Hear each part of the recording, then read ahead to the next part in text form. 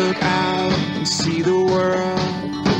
It takes everything we have to face it. Without a sound, we take a step.